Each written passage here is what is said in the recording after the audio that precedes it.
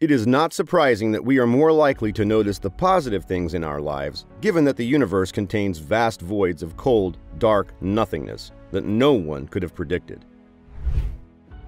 However, since there is something unsettling about the vastness of space, it's not surprising that we are more likely to notice the good things.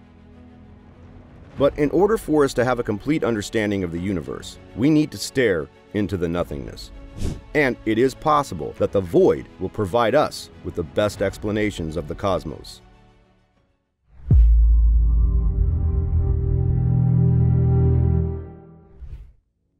Important discoveries have been made in the course of our search for holes in the universe. It has a diameter of 330 million light years, is located millions of light years from Earth, and is nearly devoid of any life, which is both terrifying and enlightening at the same time. What exactly is the emptiness that is constantly being talked about, despite the fact that it is not immediately obvious to the human eye? Let's find out by looking up into the night sky on a dark night from any location on the Earth. If the sky is clear, you will definitely be able to see the stars. You will be able to view these stars at their most brilliant and spread out over the sky if you happen to live in a more rural region. This is because of the lack of light pollution. Telescopes have been used by astronomers for a very long time to observe a portion of the Milky Way that is free of freshly produced or young stars.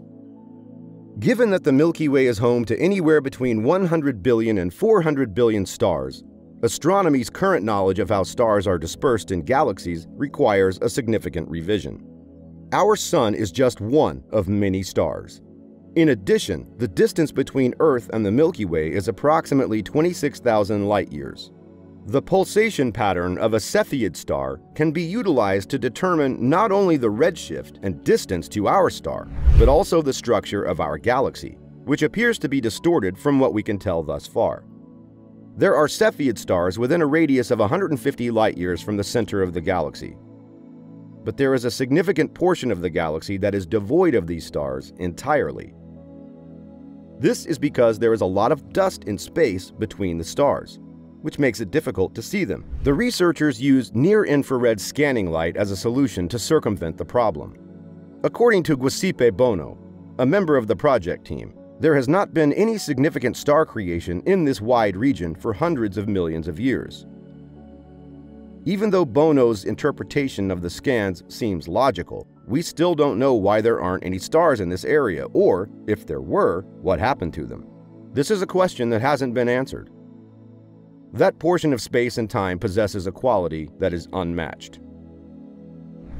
It's possible that if we had more powerful equipment and were looking for distortion specifically, we would have found it. But it's also possible that the sensors we now have will never be able to detect spatial distortions because they lack the sensitivity to do so it's possible that this one can be crossed off the list. Because we are aware that our technology is incapable of detecting the unidentified, we must assume that anything, such as a blob of dark matter, or some antimatter producing mechanism that prevents or cancels the development of the Cepheids is present, regardless of whether we are able to see it from our backyards. As Yvon Chouinard so eloquently put it, Fear of the unknown is the greatest dread of all. Because of its vastness and the cryptic atmosphere that surrounds the concept, the idea that there is an empty space in the universe is still unsettling. This is due to the fact that the concept is surrounded by a mysterious aura. Even the boot blank or great void that lies beyond our galaxy is the thing that scares us the most. Scientists are still hard at work trying to figure out how to solve this puzzle. This region of space is considered to be one of the universe's largest voids due to the fact that it is an enormous sphere-shaped stretch of space that contains only a small number of galaxies. In addition to that, it is consistent with the lambda CDM hypothesis. This cosmological notion proposes that the consistency of dark matter, dark energy, and regular stuff in the universe the Northern Sky Plowman is the location of the most profound chasm in all of the cosmos. The region known as a vacuum extends out to a distance of around 250 million light years and is essentially devoid of any substance. Although the Milky Way is surrounded by hundreds of other galaxies, only 60 of them are known to exist within the radius of the Boötes void. When viewed from the center of our galaxy, the cosmos appears to be largely empty throughout its entirety.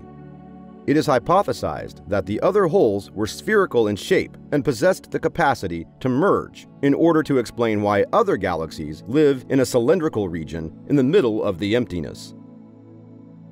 This is done in an effort to explain why other galaxies reside in this location.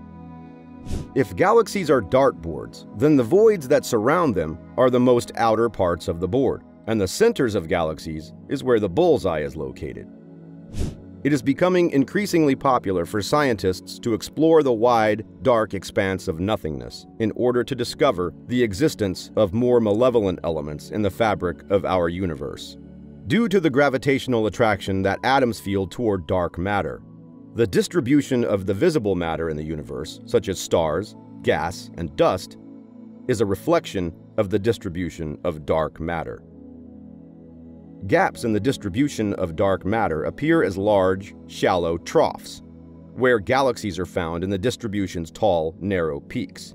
In order to gain an accurate picture of how vast and empty these areas actually are, it is necessary to take measurements in a third dimension. A typical galaxy, for example, has the same height and footprint as the Empire State Building. And a typical emptiness would be a hole three times the size of Manhattan, that is, 3 feet deep and 3 feet wide. Scientists can learn about a second type of darkness known as dark energy as the universe continues to expand at an ever increasing rate, and as the size and number of voids increase. Dark energy is responsible for the acceleration of this expansion as well as the distribution of void sizes and profile forms. Even though they are devoid of contents, Vacuums contain a great deal of latent potential. The only issue is that space is so vast that it can be challenging to find an area that is devoid of inhabitants. Even though we live in a three-dimensional world, our limited senses prevent us from seeing depth in the vastness of space. Before Robert Kirshner's discovery in 1981, voids, such as the enormous Boötes void, were unknown to science. Scientists rely on Einstein's general theory of relativity, which asserts that gravity can be used to determine the number of voids, their size, and their distribution in space and time. This allows the scientists to know how many voids there are, as well as their distribution in space and time it is substantially more difficult to detect when intense gravitational lensing occurs, when matter is dense, which results in surprising many distorted images of faraway objects. Clampett's gravitational deflection of light by mass is analogous to the well-known effects of a glass lens or prism. When the density of the matter is decreased to an exceedingly low degree, a slight lensing effect is produced. This effect has the effect of amplifying nearby galaxies and other subtle changes that require a thorough examination before any gaps can be noticed. In the far future, billions of years from now, the cosmos will become more devoid of matter as a result of the actions of dark energy, leaving behind only minute specks of light in its wake. This indicates that voids will be playing a significant part in astronomy and the study of the cosmos in general. Did you find this video fascinating? Make sure to leave a like and smash that subscribe button to stay notified about the latest James Webb Space Telescope, NASA news, and other space updates. Till next time.